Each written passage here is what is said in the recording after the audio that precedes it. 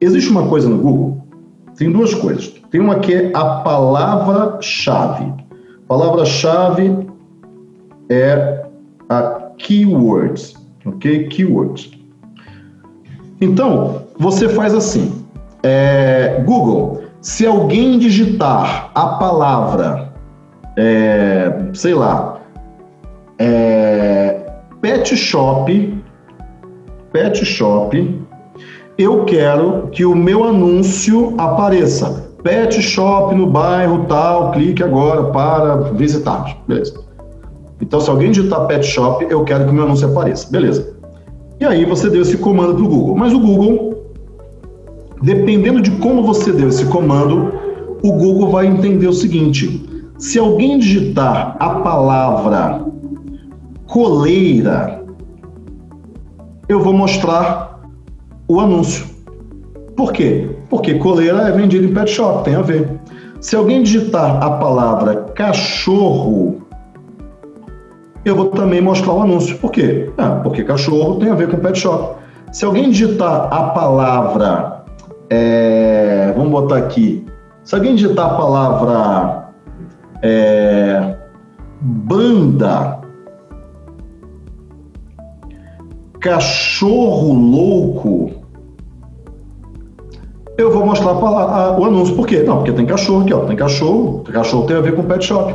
Se alguém digitar a palavra fotos de gatos. O Google faz o quê? Cara, eu vou mostrar. Eu vou mostrar por quê? Não, porque gato tem a ver com pet shop, tem gato aqui. E por aí vai.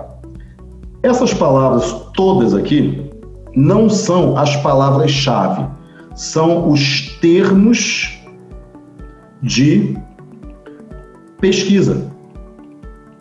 E um dos termos de pesquisa é pet shop. Se alguém digitar pet shop, seu anúncio vai aparecer também.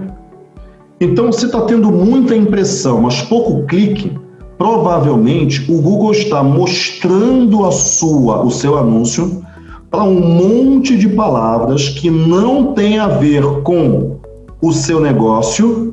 Só que quando a pessoa digita fotos de gatos e vê um anúncio falando pet shop, ela fala: não, eu não quero pet shop, eu quero foto de gato. E aí ela vai entrar no blog que tem foto de gato.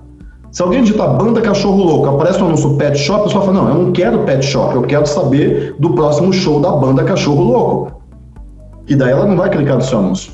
E daí você vai ter muita impressão, porque o teu anúncio está aparecendo para todos os termos de pesquisa, mas você vai ter pouco clique. Por quê? Simplesmente porque pouca gente está digitando a palavra-chave, frente à quantidade de pessoas que está digitando os termos de pesquisa.